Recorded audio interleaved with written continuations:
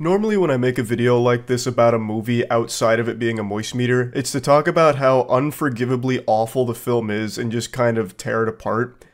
That's not how this is going to go today. I actually saw a movie that was so surprisingly good that I have to just glaze it. The movie I'm going to be talking about is Godzilla Minus One. I can't recommend this movie enough. So, I have for quite a while been a, a, public enemy to Godzilla fans. I am very harsh on a lot of the Hollywood Godzilla films that come out to the dismay of many fans. And it's not because I hate Godzilla and I despise fun and I'm trying to steal the Christmas like the Grinch or anything. As I've stated many times, I actually love Godzilla. I grew up playing a lot of the video games. I've watched tons of the movies, including a lot of the black and white ones with my parents. Rodan, in particular, is my dad and I's favorite. Like, I do like Godzilla. The reason I've been so harsh on the more modern films is because I think they're just pretty fucking stinky. They've focused on the most boring human characters imaginable and just have a snooze fest of a narrative. It's all just completely hypnotic, generic trash until Godzilla's on screen doing some fun shit. But it's just so sporadic in the modern films, it's just not worth it. They're barely even Godzilla movies. They're basically just like throwaway Tumblr fanfic that occasionally Godzilla makes a cameo in except for Godzilla vs. Kong. I actually liked that quite a bit. I thought that was a great ride. So, aside from Godzilla vs. Kong, I have not been a huge fan of the more modern Godzilla films. But now, we have Godzilla Minus One, and I think this film is extraordinary. Not only is just a Godzilla movie, but just a general movie. So even if you're not nostalgic for Godzilla in any way, shape, or form, I still think you will likely enjoy this film. Now, I know Rotten Tomatoes can be a real mixed bag of dog shit here, but for once I do think they've got these scores right. It deserves to be this high. It is really good, and I want to dive into it. I am going to get into some spoilers, so I'm going to give you a fair warning when I do get there. But for now, let me take you by the hand and show you the light here on what makes this movie so good. So, first and foremost, I want to make it clear, it's not like Godzilla Minus One changes the formula or anything. Godzilla only has five scenes in total. Now, that usually to me would be a detriment. It's like I'm here for Godzilla. You know, I'm not really here for the lame ass people. I'm a fucking cringe organic human being. I want to see a giant kaiju monster lizard fucking shooting nuclear beams out of his mouth and blowing up buildings and playing patty cake with boats. But here, those five scenes, well, I need to stop saying scenes. It's it's not just scenes. It's like full sequences. Those five sequences that Godzilla are is in are so special. Like you get so much out of it. And the bulk of the screen time is spent with human characters, which to me would usually have me like a fucking vampire that's getting garlic in his face, like just shying away from it. Like, stop, no, please, not this. But they did something unthinkable. They told an incredible story with these human characters, and they used Godzilla to complement it. Who would have guessed if you actually focused on a good story, you can make the human side of a Godzilla film work? So Godzilla is the bad guy here. He's the villain. He's not the anti-hero. He's not fighting to save the world. He is fucking shit up and you get to see it in a way that I don't think any other Godzilla movie has even come close to capturing the devastation and the despair that Godzilla is capable of. Like it the way they convey the hopelessness when Godzilla is anywhere near life is extraordinary. They do such a good job with it, and it's because you actually care about the humans. In every other Godzilla movie, they're just throwaways. It's like little action figures. They just, you know, pop the head off, throw them in the trash. Who cares? It doesn't matter. Here, you actually feel for the characters because they do a good job of fleshing them out and building the relationships. So the main character is the best the Godzilla franchise has ever seen, in my opinion. So it takes place during World War II initially. The main character was a kamikaze pilot who abandoned his duty and has a run in very early on with a young Godzilla, and he sees firsthand the power and havoc that it's capable of wreaking. After failing to save the people around him on the island that he was on when Godzilla showed itself for the first time, he returns home feeling ashamed, feeling as though he doesn't deserve to live. He's a coward for not going through with his duty. And he returns to nothing. He doesn't have a family anymore. They were killed during an air raid, and he's just really struggling to see a purpose to his life right now. And then he stumbles into a family a woman with a baby kind of fall into his lap and like move in with him. And they share a really interesting connection that the movie does a great job of building slowly but surely. So, over the course of a couple years, our main character finds a job, he finds happiness with that woman and the child, though he still feels the, as though he hasn't earned the right to like actually be romantically involved with that woman, but he does feel a responsibility to her and the child to look after them. So he finds this job, and while working this job, Godzilla comes back bigger and badder than ever. And he is fucking again. I love what they've done with Godzilla in this movie. I think this is the most terrifying he's ever been, especially when it comes to his heat breath. It is so fucking good, and it's complemented by incredible sound design. Of course, you get some of the classic Godzilla sounds as well as got like classic Godzilla music, but I think they went above and beyond for this. So, like his heat breath, it's a very slow buildup, and when he fires it, it unleashes like this devastating nuclear blast and it looks amazing. This is apparently a $15 million budget, but this sits up there at home like comfortably with some of the biggest budget movies that come out, like actual blockbusters, $100 million budgets. The visual here, the visuals, I think they crushed. There's a couple of times it gets a little shaky and a little wonky, but overall, I think they nailed it on such a small budget. It blows my mind. But anyway, the nuclear blast from the heat breath, it is just so fucking tense. The blast is happening, then silence, and you're just waiting on bated breath for the impending, deafening explosion and shockwave to follow. And the movie showcases all of the destruction that comes with it. Like, I think the way that they have used Godzilla's heat breath in here is the best it's ever been. It is so powerful, and you feel it.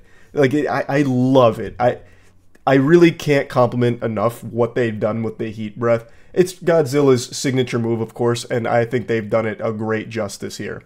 Now, I also mentioned soundtrack briefly. Like I said, you will get some of the classic Godzilla music, but they added some incredible orchestral pieces. So when Godzilla comes back for the first time while our main character's on his new job, there is a part where he attacks a giant destroyer.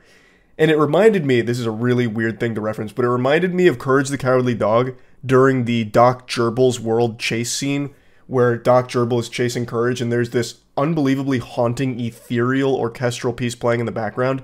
That happens here when Godzilla is like destroying this destroyer, which just came out of nowhere to save our main character. It's this triumphant moment where it's like, oh, there's hope here, we're saved. And then Godzilla reaches over and flips that fucking table right in their face. He blasts it with his heat breath. He slaps shit around, destroying the entire uh, ship. And it's all so beautiful because it's not only visually appealing, but it's complemented by an incredible musical piece. And I also think this is one of my favorite Godzilla designs from a visual standpoint.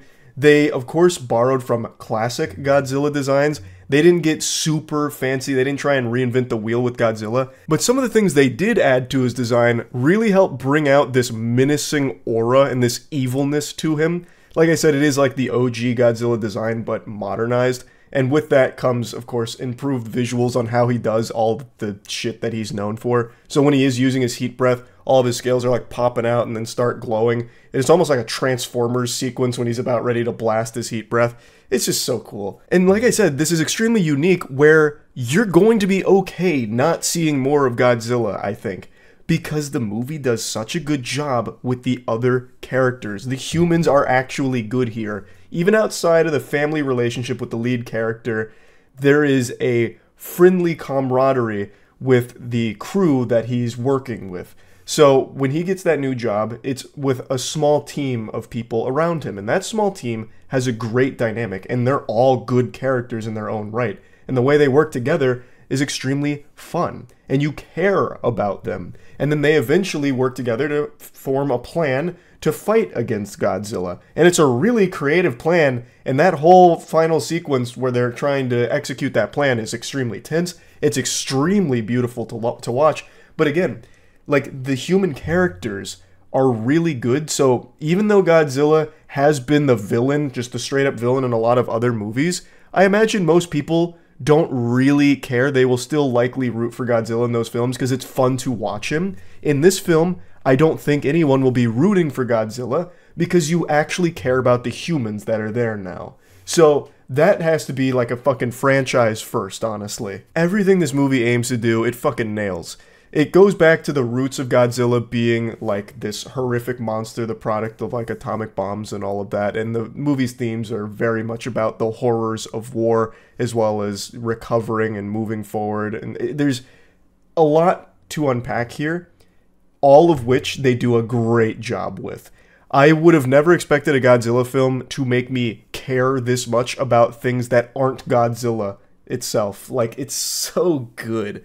But now, I don't think it's perfect. This is where I'm going to get into spoilers because I do want to talk about my only two complaints. Now, they're not big complaints by any means, but I want to put them out there on the record. As I've always stated, even my favorite products aren't perfect. Fucking nothing in this world is. Let that be a lesson to all of you. Don't delude yourself into thinking anything's perfect. The only thing perfect is my former Mr. Krabs overdoses on ketamine and dies speedrun world record. That was truly perfection until it was taken from me by someone who got a bit luckier with the route. I, am getting off on a tangent. Point is, I love the movie.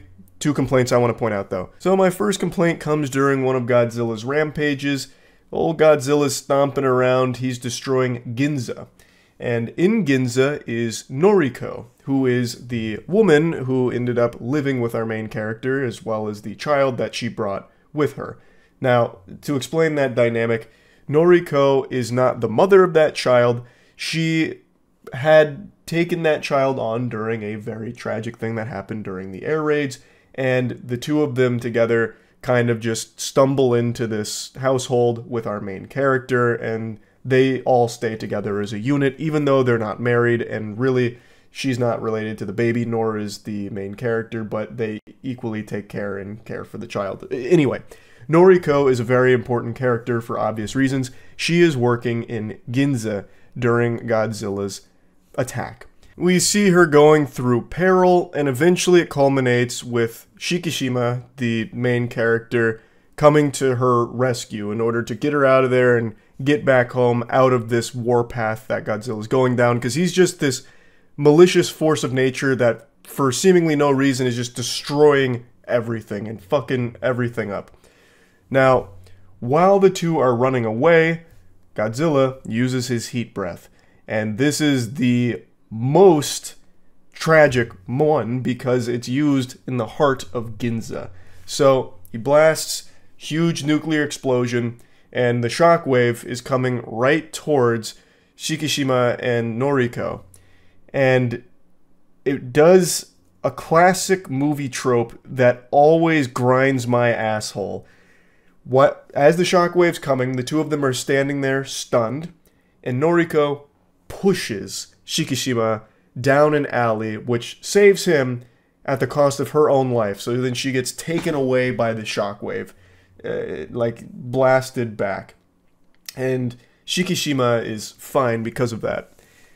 That is my least favorite tropes in movies because it's very clearly you wrote yourself into a corner like you knew where you wanted to go but didn't know how to get there so you fell onto this because the logical thing is why wouldn't Noriko just grab Shikishima and both of them go into the alley they are right next to it it's not like she gave him like a giant fucking force push and sent them 50 yards back into this alley they were less than a foot away from it. They were both right next to it. She could have just grabbed him and even fallen with him into the alley, or anything besides just a big push and standing there herself. This is something that I've seen used thousands of times in movies, and it just always makes me scratch my head and then puts a frown on my face for a brief moment. Because I feel like in the real world, even during a very high intensity situation, even during a panic, the natural human instinct during something like that would be to tackle the person.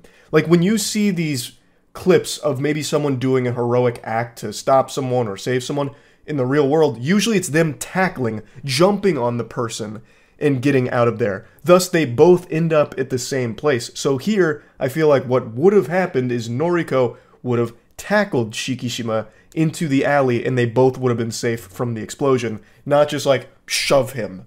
You know, like it's just it's a nitpick. It's not the biggest deal in the world. It's just a trope that I don't really like. And then to piggyback off of that, the other complaint I have is actually the very end.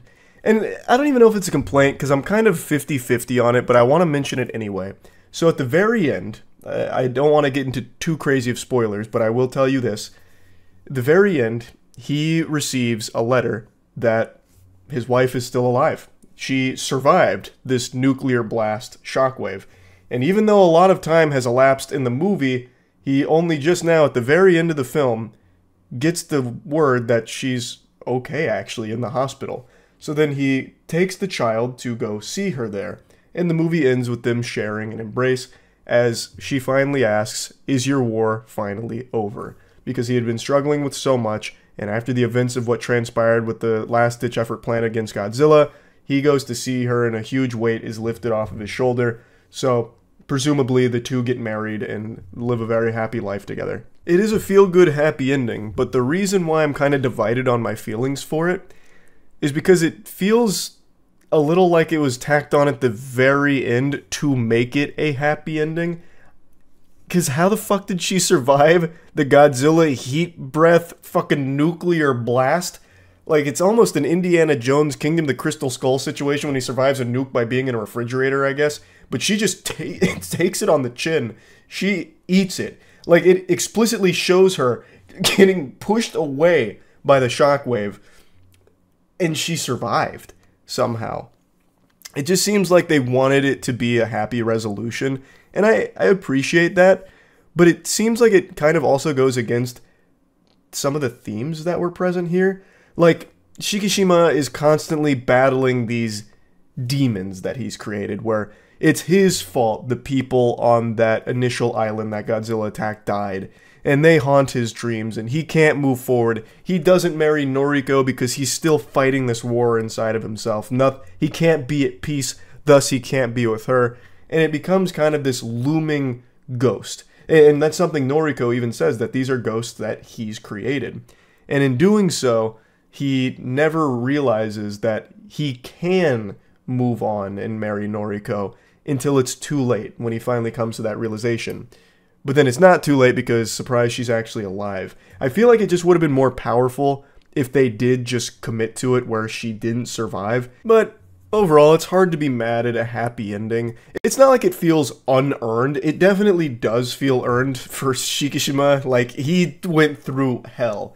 Like, the absolute bottom like worst things ever despair like he deserved some happiness like it does feel earned but i do think it would have been harder hitting if they didn't end it that way eh like i said kind of split on it but wanted to mention these two things here my only real complaint really is just that trope of like the pushing otherwise i think this is just a really really good movie and I think it is the best Godzilla movie. It's my favorite Godzilla movie now. I guess we'll see how the new Godzilla and Kong sizes up to this one. I think they're going to be very different. I don't think it's going to go in the same direction this film did, but that's not necessarily a bad thing.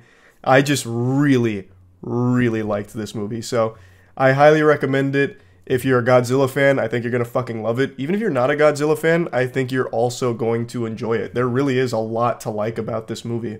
So yeah, that's about it. See ya.